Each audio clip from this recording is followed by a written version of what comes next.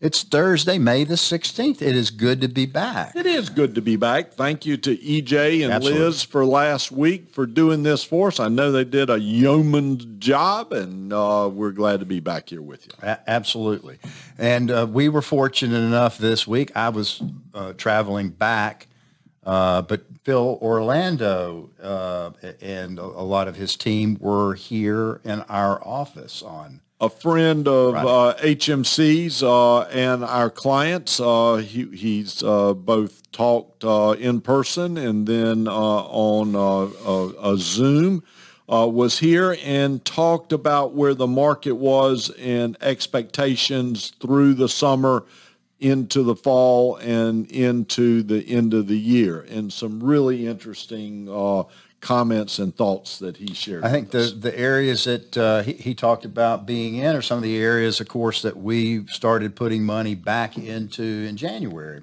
Small caps, mid caps, uh, not as much international as as they they like, but but uh, that that was an area and value oriented value oriented. uh, uh, holding. So uh, talk a little bit about that. He also, um, I'll add to it. We'll talk more about it. He he added uh, to it uh, needing to move out the line on duration, and we're we're we're we know we got to do it. We gotta. Uh, I'm, I, we're still evaluating, but back to the equity side. Um, he he said really you need to be cautious through the summer. He said that the market is going to be choppy. He would not be surprised for another pullback. Uh, he says things are pretty much overvalued, driven by the Magnificent Seven, but there are some great opportunities out there that you ought to nibble in. And from his perspective of where he's investing Federated's money, again, he's in charge of chief equity strategist for them. They're actually uh, overweight from a neutral position, ever uh, about a five percent position. So he's he's invested and committed to the market. Uh, he said um, things like uh, utilities. He said things like you mentioned in values, uh, small caps, mid caps, and he mentioned international.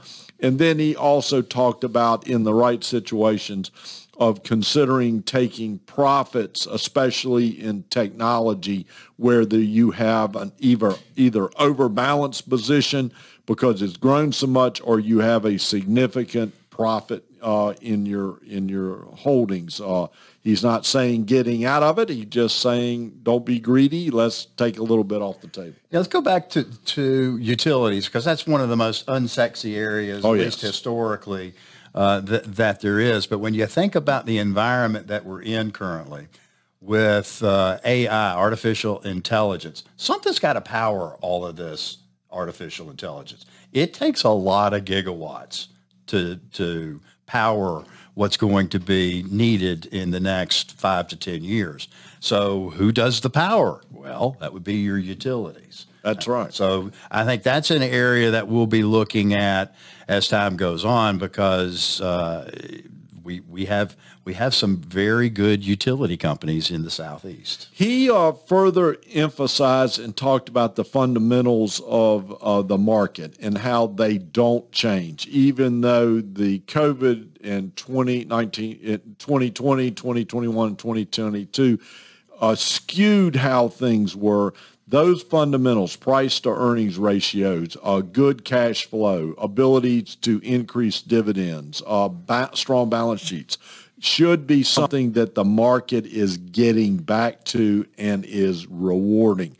And so he pointed out that these positions, the, the small and the mid, the value positions, the utility positions, the international, there is where the good buys are at this point in time. And when these fundamentals uh, fall in place, there's where the potential rewards are. If we have a downturn, which he would not be surprised about, he thinks then a more broader market is going to uh, uh, uh, come, come up. The So- pruning would have to occur. so he um he he finally said, which was interesting in a large part. We don't have time because it would take up a lot more time.